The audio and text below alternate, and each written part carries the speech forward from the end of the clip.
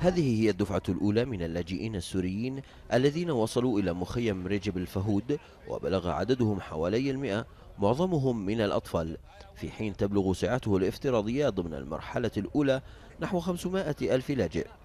ولا تخلو جعبة القادمين على المخيم من قصص تحكي عما واجهوه.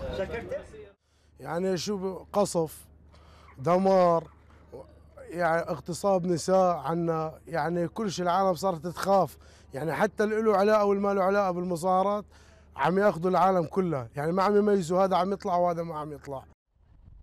أما المخيم ذاته فقد تم تجهيزه بما يستطيع أن يفي بحاجات القادمين خاصة فيما يختص بالمرافق الهامة مثل العيادات الطبية ومدارس الأطفال والمطابخ إضافة إلى بعض المرافق الرياضية.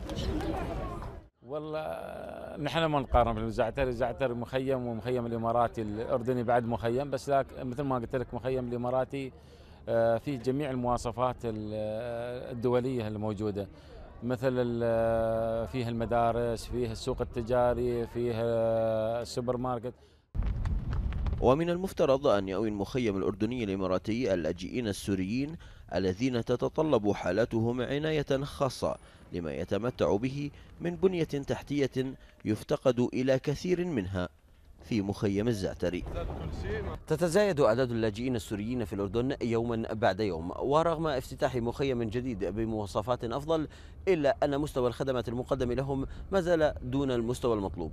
إياد الجغبير سكاي نيوز عربية. الأزرق.